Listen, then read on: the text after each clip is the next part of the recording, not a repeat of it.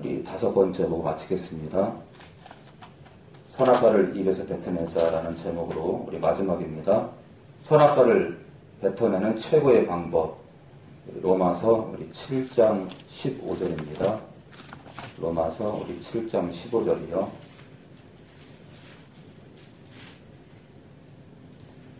하늘소망교회 오면요, 이렇게 참 아이러니한 게 하늘소망교회 오면 이렇게 막 말씀에 집중하고 어, 성령께서 여러 어, 프로에 치는 말씀에 집중하고 어떻게든 말씀을 삼하는 영혼이 있고 또 한 사람 어떤 사람들이냐면 트집을 잡아요.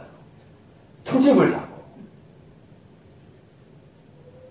저는 술 먹으면 안 된다 그러는데 술 먹어도 된대. 이거는 있잖아요. 이 목회자에 대한 도전이에요.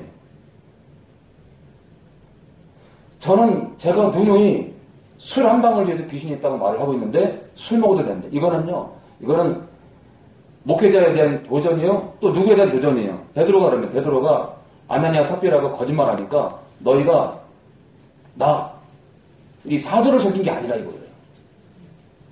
성령을 속였대요. 하나님께서 다 뜻이 있어서 축사를 맡기시고 그, 그 가진 고생하면서 영혼들을 끄집어내는 가정 속에서 술 한 방울 뒤에도 귀신이 있다고 제가 결정을 내렸는데 그리고 성경도 그렇게 말, 말씀하고 있고요. 그런데 술 먹어도 된다. 이렇게 말하는 건, 아, 참, 가슴이 아파요.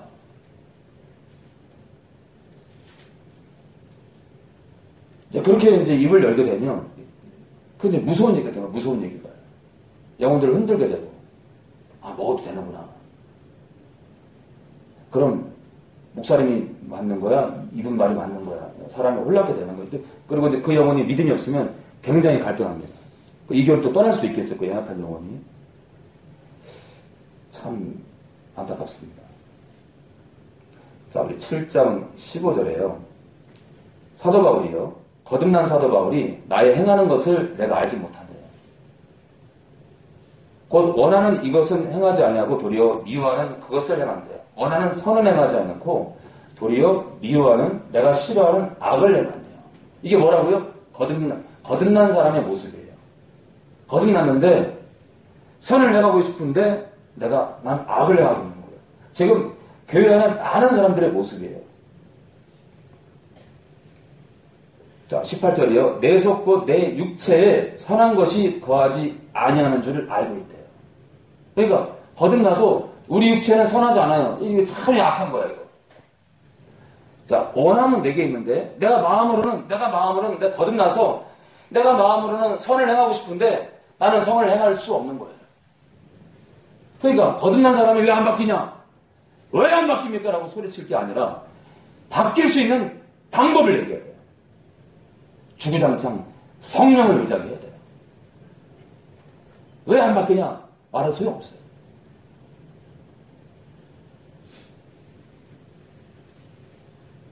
자, 내가 원하는 바 19절 선은 하지 아니하고 도리어 원치 않는 바 악을 행한대. 이게 거듭난 뒤에 우리에게 일어나는 현상이에요. 어, 나안 바뀌는데. 어이, 어이, 저 사람 미워하면 안 되는데, 어이, 말씀에는 미워하지 말라는데 그냥 미워하게 되는 거예요. 오늘도 나는 또 비판했네.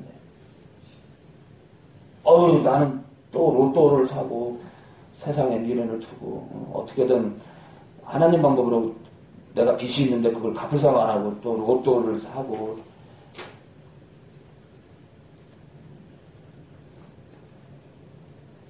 자 21절에요. 그러므로 내가 한 법을 깨달았는데 곧 선을 행하기 원하는 나에게 악이 함께. 자 23절입니다. 내 지체 속에 내 몸 속에요.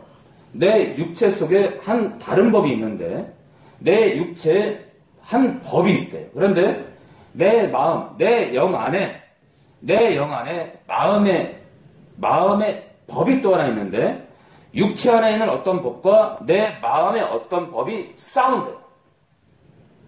그런데 문제가 뭐냐면 내 마음의 어떤 법이 육체에 있는 죄법에게 안 돼요.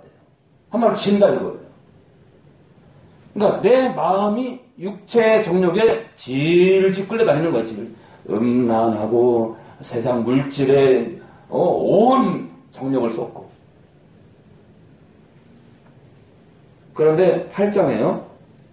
8장에 그러므로 이제 그리스도 예수 안에 있는 자에게는 결코 정죄이 없대요. 이는 그 이유가 뭐냐면 그리스도 예수 안에 있는 곧 십자가를 만난 자들 안에 성령이 들어오시는데 그 성령, 생명의 성령의 법이 성령의 통치가 거듭난 자들의 거듭난 자들을 죄와 사망의 법에서 해방시킨다 이거예요. 그러니까 성령께서 우리한테 들어오셔서 들어오시자마자 아니 어느 한 기간이 지났다 하더라도 아니 우리가 성, 령과 온전히 연합한다 했다 하더라도 우리 육체에 있는 죄의 법이 뚝 떨어져 나가는 게 아니란 얘기예요. 여전히 우리 육체 안에서 우리를 힘들게 하지만 아무리 힘들어 힘들어도 성령과 연합하는 자는 성령의 인도를 따라가는 자는 우리 육체에 여전히 죄의 법은 있지만 끝도 없다 이거 끝도 없다 해방됐다 이거 해방됐다. 그 얘기를 하고 있습니다. 그런데 있잖아요. 그런데 제가 지금 이렇게 풀어 헤치는 거를 80% 90% 교회들이 이 얘기를 안 하는데 왜 안 하냐? 한 번은 거는 영원한 구원이기 때문에 싸울 필요가 없어요. 내 육체에 죄법이 있다라는 이것에 대해서 고민할 필요가 없는 거예요. 한 번 믿으면 그 나라에 가기 때문에 뭐 육체에 뭐 죄, 죄법이 있다, 우리 마음에 또 다른 법이 있는데 서로 싸운다, 이런 얘기를 할 필요가 없는 거예요. 자, 좀 전에요. 좀 전에 23절에 내 육체에 죄법이 있다고 했는데요. 우리 고린도후서 우리 12장 7절로 가볼까요? 고린도후서 우리 12장 7절입니다. 사람들이 그래요. 저한테 목사님 거듭난 사람들이 왜 귀신 들립니까? 네, 우리 12장 7절 이하를 보면요. 거듭난 거듭났던 바울도 이게 지금 어, 고린도후서가 이게 기록된 게요. AD 어, 50 58년 네, 56년경이에요. AD 56년경. 자, 그러니까 주님 만나고 한참 한참 지난 때예요. 자, 우리 12장 7절 국소인 읽어줘요. 7절에서 우리 9절까지요.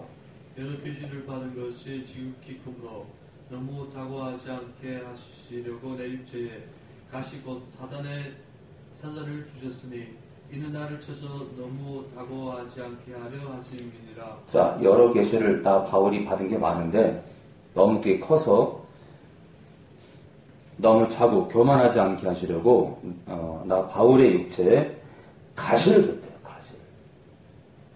푹 찔러드는 가시를 줬다 이거. 근데 이 가시가 이 가시가 이게 병이냐 어떤 약점이냐 그런데 그 뒤에 나와요. 이 가시를 줬는데 이게 뭐냐 곧 이 가시가 뭐냐면 사단 사탄의 사자를 주셨다. 이 사자가 뭐로 되어 있냐면 원어로요 안겔로스야. 뭐라고요? 천사예요. 근데 단수야. 한 천사. 그럼 누구예요? 사탄에 속한 한 천사는 누구예요? 사탄의 천사니까 사탄에게 속한 천사는 뭐예요? 귀신이에요, 귀신. 악령. 사탄과 함께하는 악령이에요, 악령. 곧 많은 사람들을 어, 많은 사람들 육체에 들어와서 괴롭히는 더러운 영. 자, 내 육체에 가시, 가시를 줬는데 이게 뭐냐면 사탄에게 속한 악한 영이에요. 이는 그 이유가 뭐냐면 나 바울을 쳐서 너무 교만하지 않게 하시려고 악한 영 하나를 넣었대요. 어디에요? 바울의 육체. 그럼 거듭나도 들어올 수 있어요, 없어요? 들어온다니까. 아니, 거듭난 사람, 거듭난 사람 육체에 못 들어온다면, 절대로 법적으로 못 들어온다면, 영적인 법, 법으로 못 들어온다면, 어떻게 사도 바울의 육체에 악한 영을 집어넣냐, 이거예요. 자, 8절. 더 분명해지는 건 이것이 이 악한 영이 내게서 떠나기 위하여 이 헬라어로요 물러나기 위하여 물러가는 것을 위하여 내가 세번 죽게 강구했대 무슨 얘기냐면 주님 이영좀 나가게 해주세요. 이영좀 나가게 해주세요. 이영좀 나가게. 이 악한 영 좀 내보내달라고 그때 주님이 내 은혜가 내가 내가 너를 포함해서 이 인류를 위해서 내가 십자가에서 흘린 그 피의 은혜가 십자가의 은혜가 너한테 족하다. 그게 무슨 얘기예요? 십자가로 네 육체에 이 악한 영 하나가 있지만 너는 십자가로 얼마든지 이길 수 있다 이거예요. 조카도다. 이는 내 능력이 약한 데서 온전해진대요. 그러니까 여러분 시험이 오면 고난이 오면 고난이 오면 어떤 경우 어떤 경우 많은 경우는 고난이 오면 나를 더 연단하는 거예요. 그런데요 뭐라 그래 지금요? 내 능력은 약한 데서 온전해진대요. 그러니까 그 술주정뱅이 남편을 통해서 우리를 깨운다 이거예요. 나의 부족을 나의 부족을 말씀하시고 그 못난 남편을 통해서 나를 흔들어 깨우시고 나의 연약함을 또 보게 한다 이거예요. 그러면서 어때요? 우리가 이제 그런 걸 통해서 그런 남편이나 그런 아내 또는 뭐 아이들을 통해서 또는 부모님을 통해서 어떻게 되는 거죠? 내가 십자가를 더 보는 거야 내가 그렇구나. 내가 저 사람 저 사람을 내 아내를 내 남편을 시어머니를 내 아들을 또는 뭐 내 우리 엄마를 우리 아빠를 내가 미워했는데 어릴 때 우리 아빠가 너무 나를 때려가지고 너 미워했는데 어느 날 십자가의 은혜를 보니까 그게 아니네. 오히려 나를 힘들게 하는 아빠 또는 나를 힘들게 하는 아들 또는 딸 시어머니 이런 사람들을 통해서 십자가의 은혜가 정말 십자가가 십자가 은혜를 족하구나. 오히려 이들의 이들을 통해서 나를 치는 이 고난이 참 십자가를 바라보겠구나. 십자가를 바라보겠구나. 이러므로 도리어 크게 기뻐함으로 나의 여러 약한 것들에 대하여 자랑하리니 이는 그리스도의 능력으로 내게 머물게 하려 함이라. 지금요 사도 바울이 고린도서 12장 7절에 내가 귀신 들렸을 때 귀신 수 있었다. 내가 귀신 들렸을 때 내가 귀신 들려 있었다 이거예요. 제가 12장 7절을 읽고요. 저 깜짝 놀랐어. 와, 바울이 들렸구나, 바울이. 그리고 로마서 7장에 그걸 뭐라고 하냐면, 자기 육체, 그 귀신 들는 걸 뭐라고 하냐면요, 자기 육체에 죄의 법이 있대. 자, 우리 마음에는 성령의 법이 있는데, 성령은 살아계신 분이에요. 근데 바울이요, 자기 육체에 죄의 법이 있는데, 이것도 죽어있는 법이 아니에요. 귀신이에요, 귀신. 귀신의 역사. 그러니까 사도 바울이 말하는 7장의 죄의 법은 귀신의 역사예요. 8장 2절에 말하는 성령의 법은 살아계신 살아계신 아버지의 영, 그리스도의 영의 역사예요. 그러니까 죽을 때까지 귀신의 역사와 성령의 역사가 우리 인생 가운데 계속 공존한다. 근데 어떻다고요? 성령의 법의 통치를 따라가면 귀신의 역사가 우리 육체에 들어와서 아무리 흔들어도 상관없다 이거예요. 그래서 제가 축소하면서 느낀 게 뭐냐면 너무 많은 사람들이 들려 있어가지고 안 들린 사람을 찾기가 힘들어. 그래가지고 아 그랬구나. 이렇게 강적인 바울 몸에도 귀신이 들어와서 이렇게 힘들게 할진데 어떻게 리라 또는 저 그 누가 예외가 될수 있냐 이거예요. 다른 말로 하면 고린도후서 12장 7절은 누구든지 들릴 수 있다는 얘기를 하고 있는 거지. 누구든지.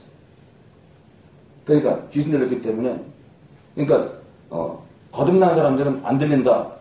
엥 오답이에요. 자 오늘 선악과를 뱉는 책을 한걸 보고 있는데 그럼 제가 이 얘기를 왜 하냐? 제가 그랬잖아요. 누구나가 들릴 수 있고 또 성령을 의지할 때 나갈 수 있다. 그런데 뭐라고요? 귀신은 혀를 가지고 사람 신자들을 괴롭힌다. 그러니까 내 안에 내 안에 어, 내 안에 귀신의 역사가 내 육체, 내 겉사람에 귀신의 역사가 있을 수 있다라는 걸 모르면 모르면요.